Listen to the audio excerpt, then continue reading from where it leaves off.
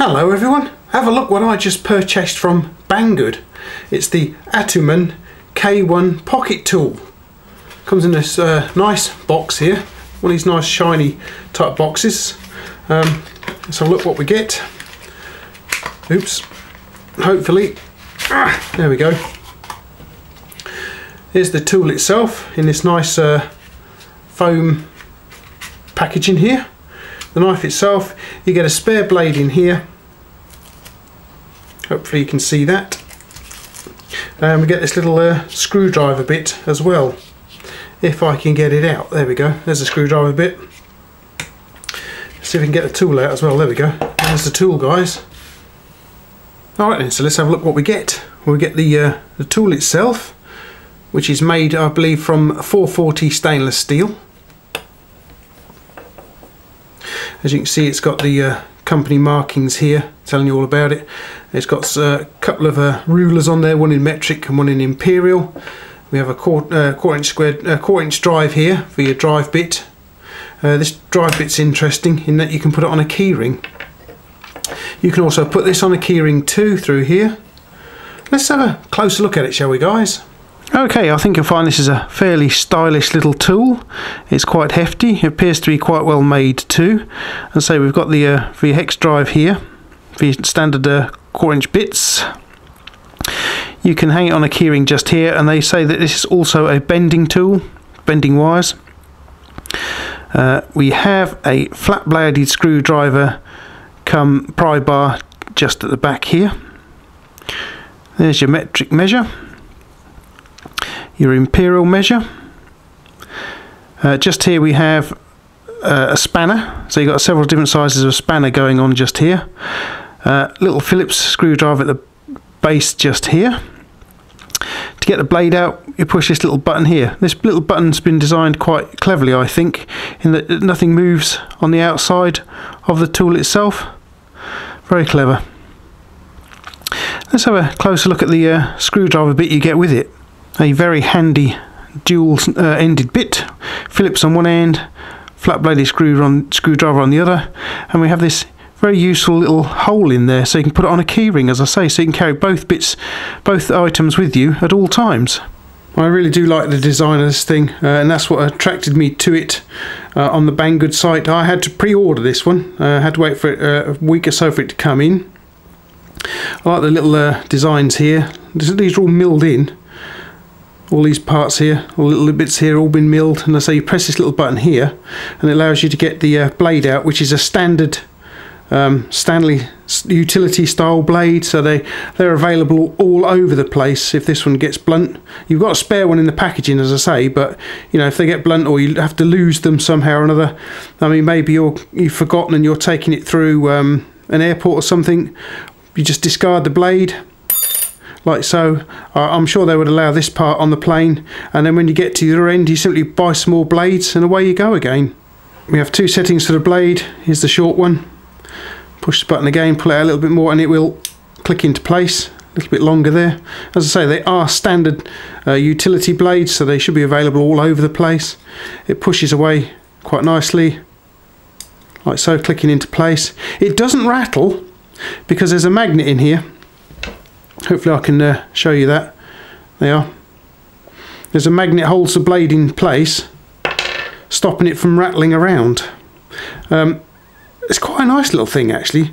It's quite comfortable to hold, so I dare say it should make a handy little tool, you know, for cutting and what have you. Easy to deploy the blade, there we go. I'm seriously considering uh, EDC in this because it's a right nice little bit of kit.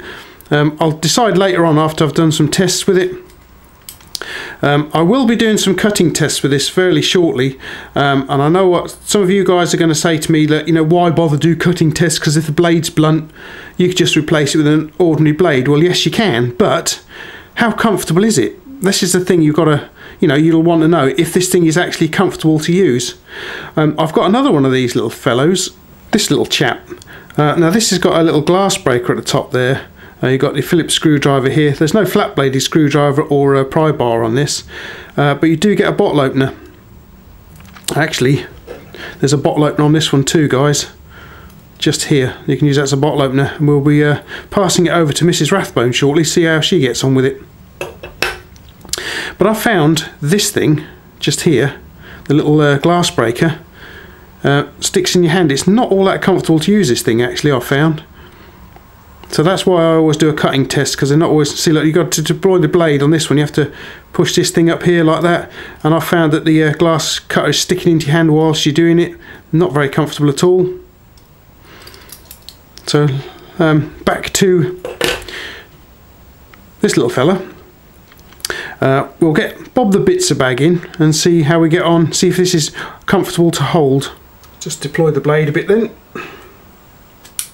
there we go Here's Bob the Bits bag. We've got some paper here, which we'll try first.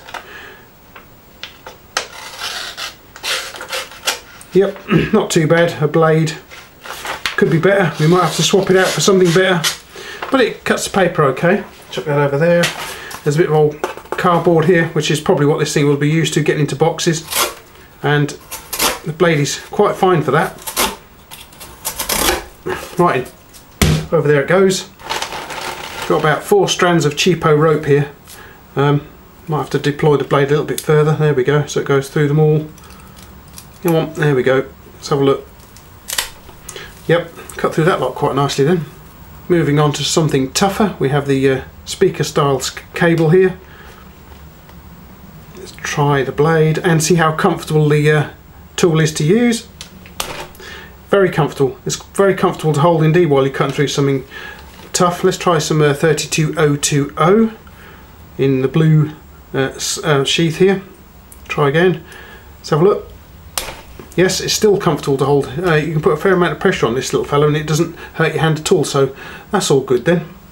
Um, many thanks to Trader Joe for sending uh, Mule the tapeworm in, or tape, uh, mule tape, so pulling uh, cables, heavy duty cables through conduits and uh, you know, what have you.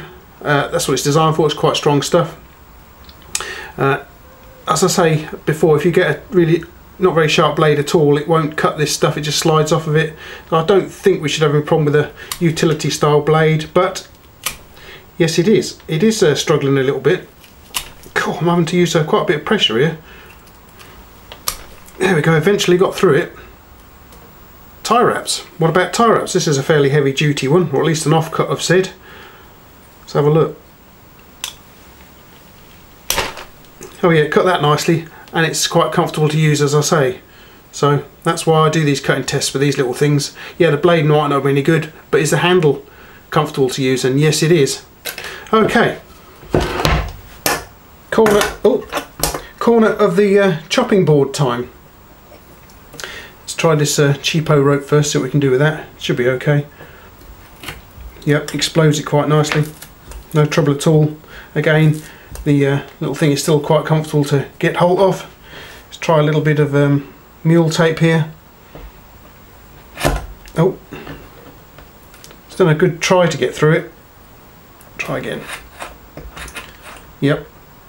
It's because I'm holding it in a, a, funny way to show you guys but it is cutting it quite nicely um, the speaker style cable.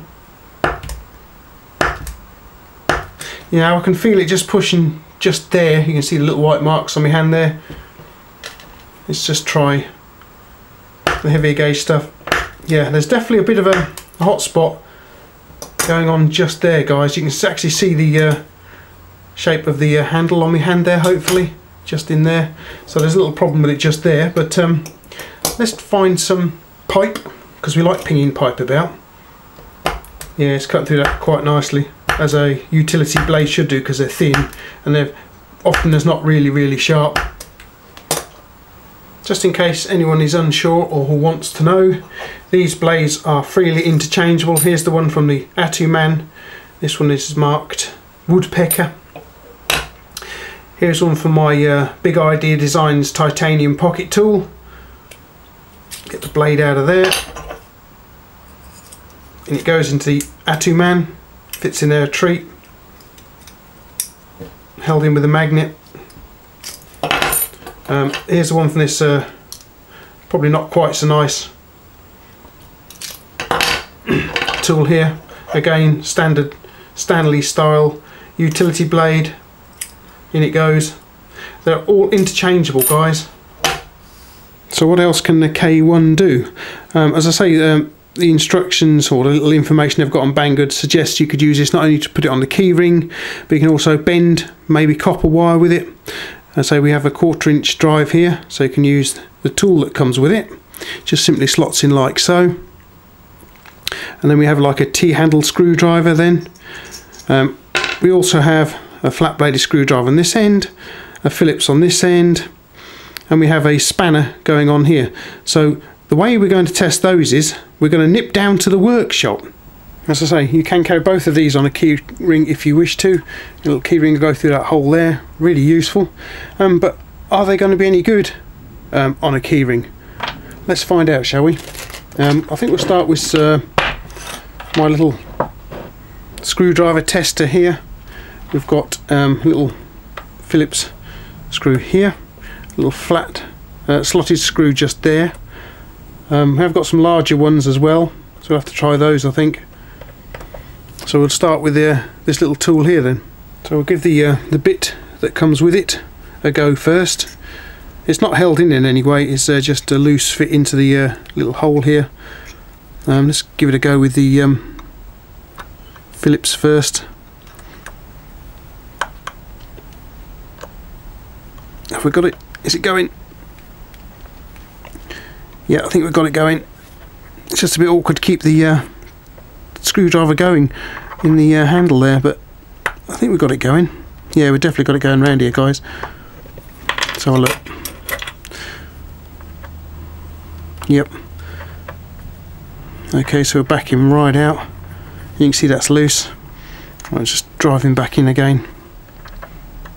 Right that's almost there okay Get the Atuman back on there again.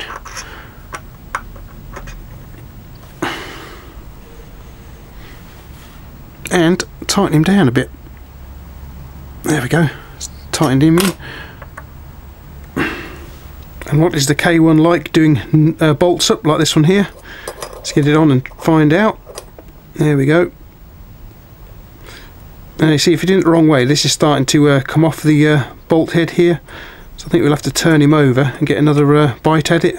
Let's have a look. Yeah, that's a much better fit. It's not going to open up now. So you have to use this the right way around. So it's fairly tight on there. Turn him over. Pop him back on again and there we go. So what's it like working with metric nuts? Let's have a look. Just uh, it is loose get the uh, Atuman on there. I'm not sure whether this, whether this uh, is metric or imperial size because it's a bit of a funny fit on this uh, metric nut here. But we'll give it a go. Yep, there we go. We've managed to do it. Obviously, this is obviously you know a compromised tool, but um, it will. There we go. Do it at a pinch anyway. What about the uh, tools that come with it? What are they like? let's try the little Phillips driver. We've got this little uh, posi drive screw here, but it'll do the job, I think. Make a little hole for it right here. There we go. Pop it in. See what we can do with it. Right, and so far so good then. I think maybe this uh, screw head might be a bit bit on the large size for the driver bit. I'm having to use a bit of pressure to drive it in but hopefully you can see it, is actually going in there guys. There we go. Okay. Not damaged the tip too much either by looks of it. I can't see much damage on there. there's a few because this is like um, you know a blasted finish and it's beginning to show some little signs of shiny up there as it's uh, rubbing against the uh, screw head. Okay right then let's give this large slotted head screw a go. Quite a largish screw this one. So make a bit of a hole for it. There we go. Oh if I can get it out there we are. Pop it in. Because say we've got a sort of like a flat bladed screwdriver stroke pry bar on the end there. Okay. You might be to hear my old wrist cracking away here here it goes.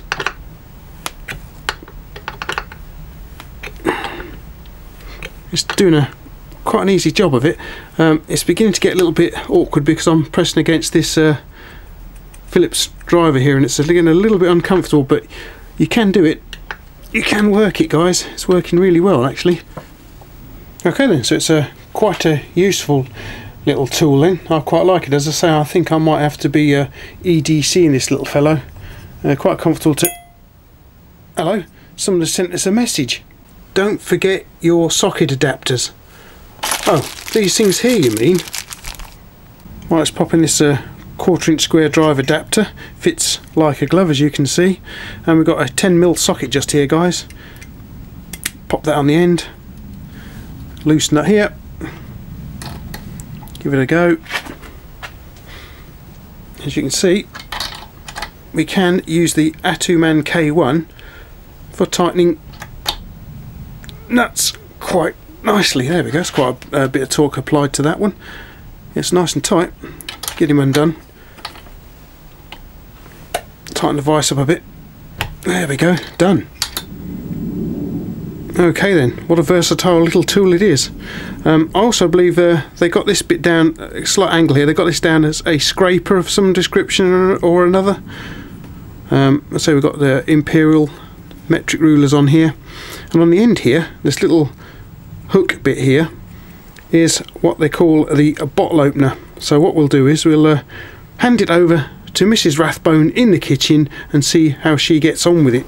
This one is the Atuman K1 um, tool. See how this um, hook, got little hooks on it.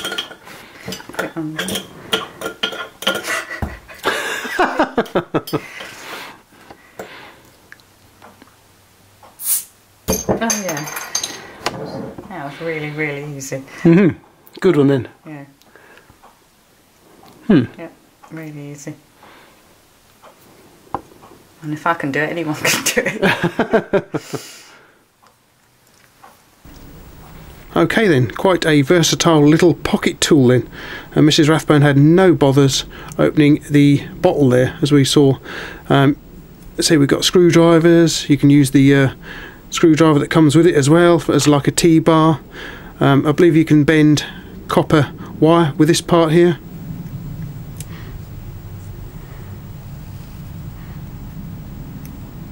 As I say, I purchased this with my own money um, from Banggood.